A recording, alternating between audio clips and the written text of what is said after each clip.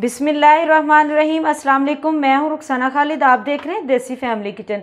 शादियों से फारग हो चुके हैं तो गला भी थोड़ा ख़राब हो चुका है। आवाज़ जब सैंडविच बनाते हैं तो इस तरह से किनारे उतार देते हैं। इनको ज़ाया बिल्कुल ना किया करें।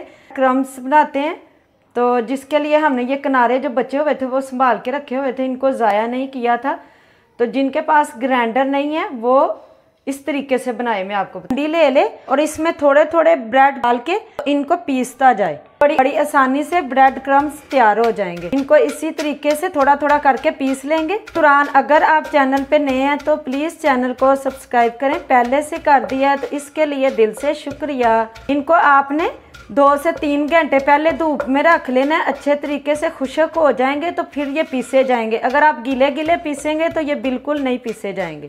ये बिल्कुल आसान तरीका मैंने आपको बता दिया। ब्रेड क्रम्स पहले से ही बना के रख लेते हैं, ताकि जब रोल बनाएँ तो रोल बनाने में आसानी हो। ये देखें, बड़ी जल्दी से ये पीसे गए हैं, बिल्कुल बारीक हो गए हैं।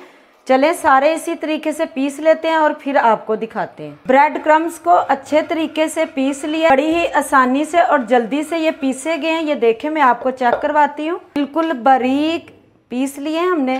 ब्रेड क्रम्स तैयार हो चुके हैं। इनको एक बर्तन में निकालते हैं और फिर आपको दिखाते हैं। अभी आपने बर्तन लेना है वो बिल्कुल खुश्क होना चाहिए ताकि ब्रेड क्रम्स गीले ना हो। देखिए कितने अच्छे से बारीक ब्रेड क्रम्स तैयार हो चुके हैं। उम्मीद है आज की वीडियो आपको पसंद आई होगी। अल्लाह ताला आप सबको अपनी जो ईमान में रखे। आमीन। अल्लाह हाफिज।